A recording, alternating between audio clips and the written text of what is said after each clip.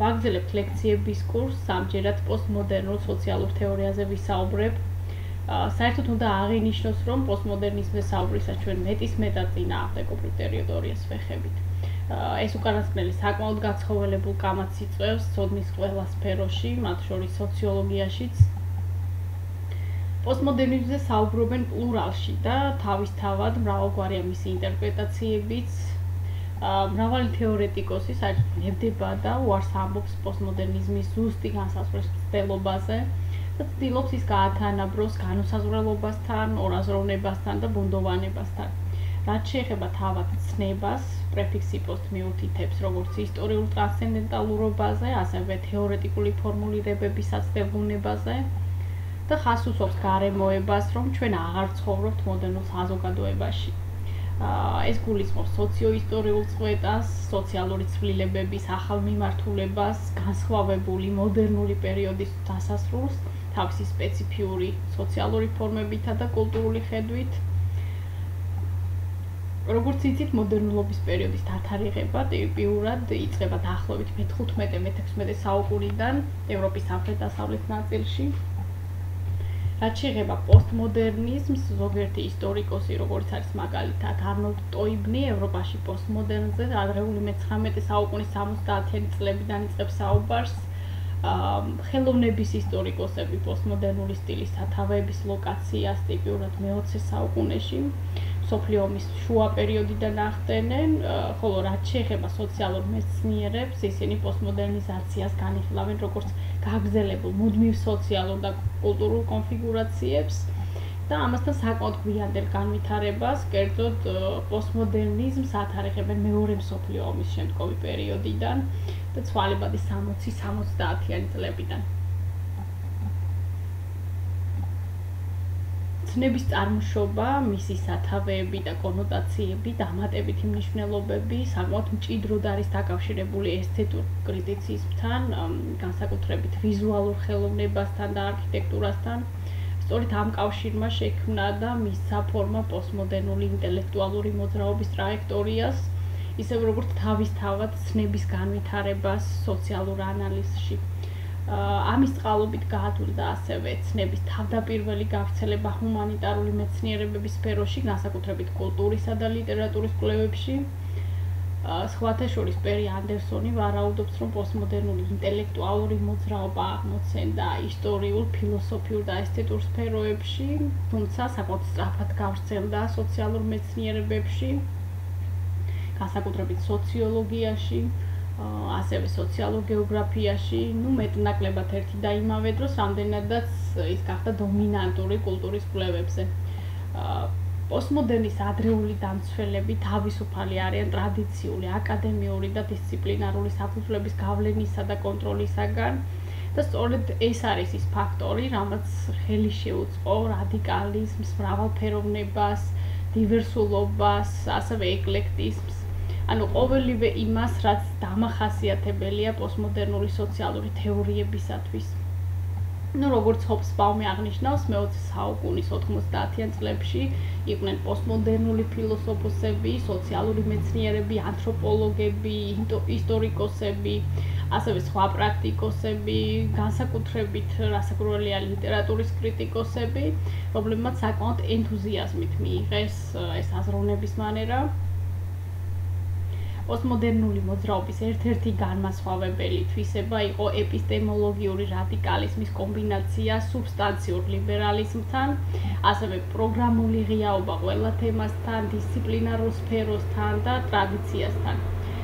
რადიკალური ეპისტემოლოგიური პოზიცია კრიტიკულ განხილვას იმსახურეს ნაწილობრივ იმდენად, რამდენადაც ამ უკანასკნელმა გამოიწვია და გახდა ინსპირატორი ყველაზე პროვოკაციული და ყველაზე კრიტიკულად აღიარებული პოსტმოდერნული თვალსაზრისების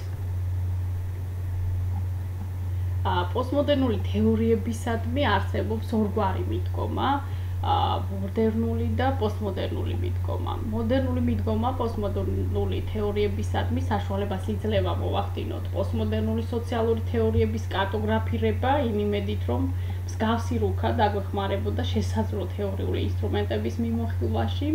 ხოლო პოსტმოდერნული მიდგომა скеპტიკურია გარემოებებისა და თეორიების ყოველგვარი ლოკაციის, ფიქსაციის, კლასიფიკაციის ან გნებავთ სტრუქტურირების მიმართ.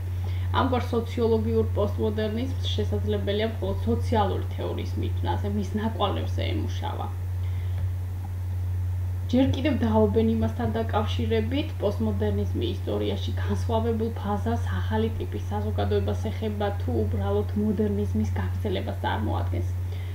იმისათვის რათა უკეთესად გავერკვეთ ამ ასე ვთქვათ დისციპლინარულ ვარიანტებში აუცილებელია განვასხვაოთ პოსტმოდერნულობა, პოსტმოდერნიზმი და პოსტმოდერნული სოციალური თეორია.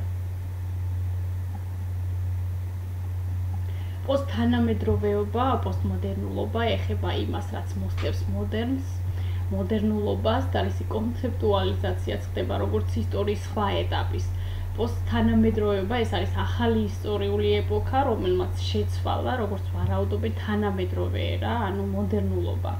რაც შეეხება პოსტმოდერნიზმს, ეს ეხება კულტურულ პროდუქტებს, ხოლო პოსტმოდერნისტური სოციალური თეორია წარმოადგენს პოსტთანამედროვეობის ახალ კონცეფციას, ის ეხება სამყაროს შესწავლას მოდერნული სოციალური თეორიებისაგან განსხვავებული გზით. ну, აქედან გამომდინარე შესაძლებელია დავასკვათ, რომ პოსტმოდერნი დაკავშირებულია ახალ ისტორიულ ეპოქასთან, ახალ კულტურულ პროდუქტებთან და სოციალური სამყაროს შესახებ ახალი ტიპის თეორიტიზაციებთან. პოსტმოდერნული სოციალური თეორია უარყოფს მოდერნული სოციალური თეორიის ამბიციებს და ტექნიკებს ასევე. ან დიდი ნარატივებიდან და უნივერსალური რაციონალური თეორიტიზაციებიდან ინაცვლებს უნივერსალური ჭეშმარიტებების დეკონსტრუქციის მიმართულებით. პოსტმოდერნისტების აზრით, სამყარო იმდენად განსხვავებულია, რომ მოითხოვს აზროვნების სრულიად ახალ წესს. პოსტმოდერნისტები უარყოფენ იმ თეორიულ პერსპექტივებს, რომლებიც კლასიკურ სოციოლოგიაში აღწერილი, ასევე იმ საშუალებებს, რომლებითაც კლასიკოსი სოციოლოგები ქმნიდნენ თავიანთ თეორიებს. სავარაუდოდ პოსტმოდერნიზმის აღწერის იმდენი ნავერსახეობა გვაქვს, რამდენი პოსტმოდერნისტი სოციალური თეორეტიკოსი თავს, ამიტომ ვითარების გასამარტივებლად კარგი იქნებოდა შეგვეჯამებინა ერთ-ერთი გამოჩენილი პოსტმოდერნისტის ფრედერიკ ჯეიმსონის მიერ შემოთავაზებული აღწერის რამოდენიმე მნიშვნელოვანი ელემენტი. ჯერ ერთი პოსტმოდერნულობა ეს არის უძირო ზედაპირული სამყარო, იმიტაციების სამყარო.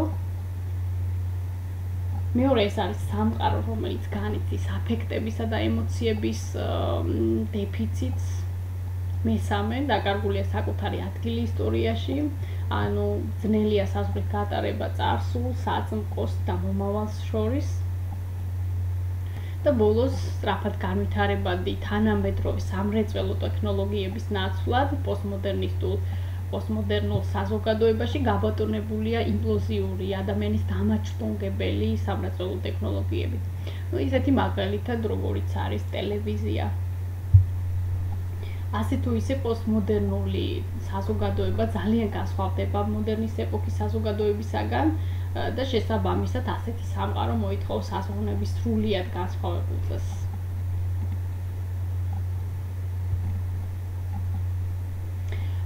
პოსტმოდერნული აზროვნების წესის განსაზღვრისას როზენო ეთნობა ისეთ პრინციპებს, რომელიც მიუღებელია პოსტმოდერნისტებისათვის, კერძოდ აზროვნების მოდერნული წესის מחასიათებლებზე ხდება აქცენტირება. ჯერ ერთი პოსტმოდერნისტები უარყოფენ განზოგადებებს, რითაც ხასიათდება მრავალი კლასიკური სოციოლოგიური თეორია. ნაცვლად ამისა, პოსტმოდერნისტები უპირატესობას ანიჭებენ უფრო შეზღუდულ განმარტებებს, ან მათ არარსებობას, მეორე უარყოფილია დისციპლინებს შორის არსებული ყოველგვარი საზღვრის არსებობის ტენდენცია. სულ ერთია სოციოლოგიაში მოღვაწეობს, სოციალურ თეორიაში, ფილოსოფიაში თუ ბელეტრისტიკაში. პოსტმოდერნისტები ხშირად დაინტერესებული არიან უფრო იმით, რომ შოქში ჩააგდონ, გააოგნონ კითხველი და არა იმით, რომ შემოგთავაზონ შვიდი არგუმენტირებული, დასაბუთებული აკადემიური დისკურსი. და ბოლოს ნაცვლად იმისა, რომ ჩაწვდნენ საზოგადოების არს, თქვათ რაციონალობის ან კაპიტალისტური ექსპლუატაციის შესწავლას, პოსტმოდერნისტები აქცენტირებენ უფრო საზოგადოების პერიფერიებზე.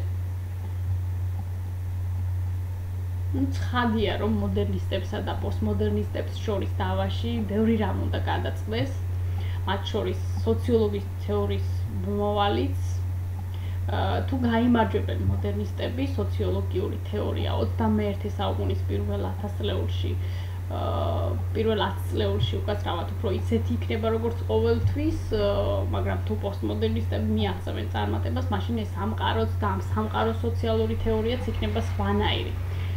ყველაზე სავარაუდო სცენარი გეორგ რიცერის თანახმად შემდეგნაირად გამოიყურება. ჩვენი სამყარო იქნება წარმოქმნილი როგორც მოდერნიზმის, ასევე პოსტმოდერნიზმის რამენაირი კომბინაციის სახით და ყველა სახის სოციალური თეორეტიკოსები გააცხებლებენ ბრძოლას ჰეგემონობისათვის